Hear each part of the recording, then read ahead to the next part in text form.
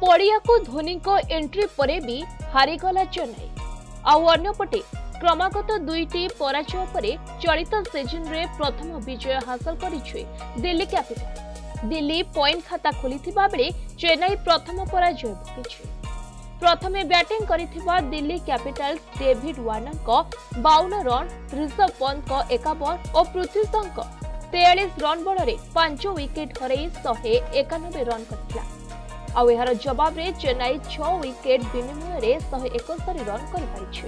ତେବେ ଦୁଇ ବ୍ୟାଟରଙ୍କୁ ଚଉଦ ଓଭରରେ କ୍ରମାଗତ ଆଉଟ୍ କରିଥିଲେ ମୁକେଶ କୁମାର ଶୁଭମ ଦୁବେ ଅଠର ରନ୍ର ଧୀମା ଇନିଂସ୍ ଖେଳି ଆଉଟ୍ ହୋଇଥିଲେ ଅନ୍ୟପଟେ ଚେନ୍ନାଇ ଉପରେ ରନ୍ ରେଟ୍ ହାର ବଢ଼ି ଚାଲିଥିଲା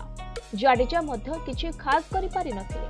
ପରେ ଧୋନି କ୍ରିଜ୍କୁ ଓହ୍ଲାଇବା ବେଳକୁ ବହୁତ ବିଳମ୍ବ ହୋଇସାରିଥିଲା ତଥାପି ଧୋନି ବିସ୍ଫୋରକ ବ୍ୟାଟିଂ କରିଥିଲେ ମଧ୍ୟ ତାହା ଦଳକୁ ପରାଜୟରୁ ବଞ୍ଚାଇ ପାରିନଥିଲା ଧୋନି ଷୋହଳ ବଲ୍ରୁ ଚାରି ଚୌକା ଓ ତିନି ଛକା ସହ ସଇଁତିରିଶ ରନ୍ କରି ଅପରାଜିତ ଥିଲେ ଶେଷରେ ଚେନ୍ନାଇ ଛଅ ୱିକେଟ୍ ହରାଇ ଶହେ ଏକସ୍ତରୀ ରନ୍ କରିପାରିଥିଲା ଶହେ ବୟାନବେ ରନ୍ର ବିଜୟ ଲକ୍ଷ୍ୟ ପିଛା କରିଥିବା ଚେନ୍ନାଇ ସୁପର କିଙ୍ଗସକୁ ଆରମ୍ଭରୁ ଡବଲ ଝଟକା ଲାଗିଥିଲା ଫର୍ମରେ ଥିବା ବ୍ୟାଟର ଋତୁରାଜ ଗାଇକ୍ୱାଡଙ୍କୁ ଆଉଟ୍ କରି ଦିଲ୍ଲୀକୁ ବଡ଼ ସଫଳତା ଦେଖାଇଥିଲେ ଖଲିଲ ଅହମ୍ମଦ ଆଉ ଏହାପରେ ଡାରିଲ ମିଚେଲ ଚଉତିରିଶ ରନ୍ କରି ଆଉଟ୍ ହୋଇଥିଲେ ରିପୋର୍ଟ ପ୍ରତିଭା Thank you.